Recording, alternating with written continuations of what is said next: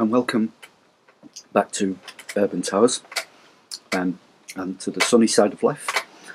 I hope you're enjoying these um, video vlogs as much as I am making them. I want to tell you a few things about what we've been doing um, recently.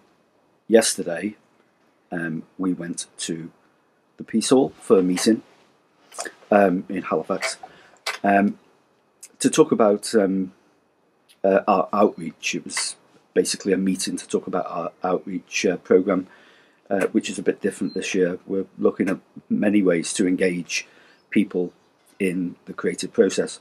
So we're reaching out uh, as part of a festival into the community, into three communities uh, throughout Halifax.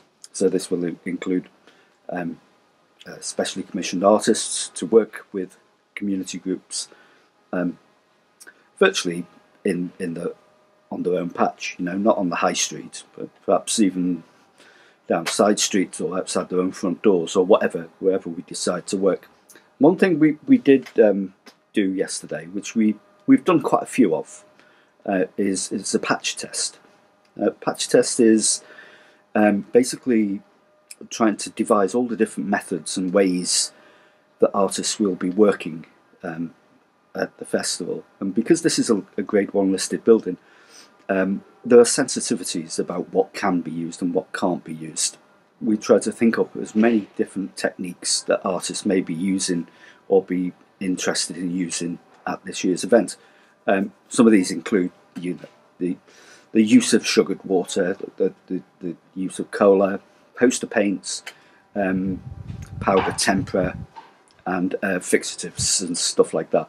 Uh, just to put the um, the logistics team at the Piece Hall the minds at rest. You may have noticed the recent post I put up about the uh, Imperial Crown Hotel in Halifax. It's our festival um, hotel this year. It's a very nice hotel. We've stayed in it ourselves. Um, uh, most artists will be staying there. It's fully booked over that weekend.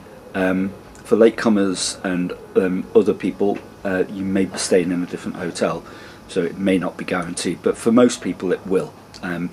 It's a lovely hotel. Um, one of the things we noticed when we walked around Halifax uh, last night was sheep. Sheep were everywhere. We found sheep literally everywhere.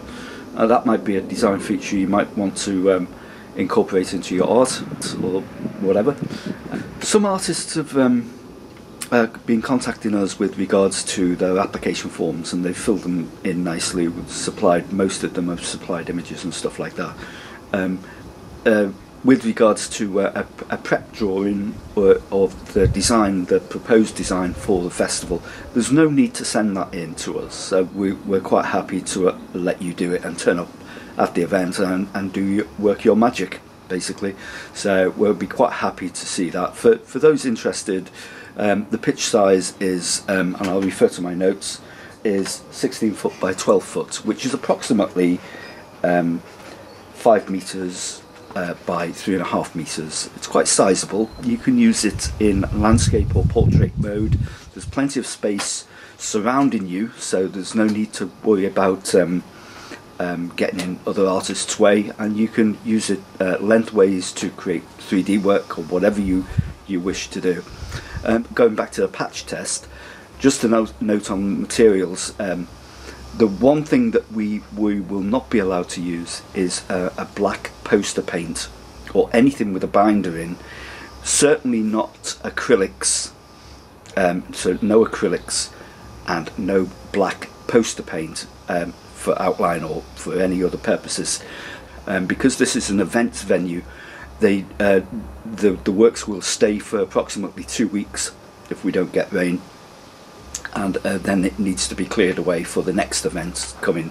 So it it's the the longevity of the work will not be, you know, it will. It, we don't want it to stay around for months, basically. So bear that in mind when you're you're doing your your preparations. Um, also, we'll be providing providing chalks, um, good quality pastels. If you want to supply, you, if you want to bring other stuff, you quite, well, you know, we'd be happy to for you to do so, as long as you um, just tell us what you're using beforehand, so we can we can okay it, and that that'd be great. Um, so, any questions you can you can put them at the bottom of the video here and um, I'll get back to you see you see you soon thanks for listening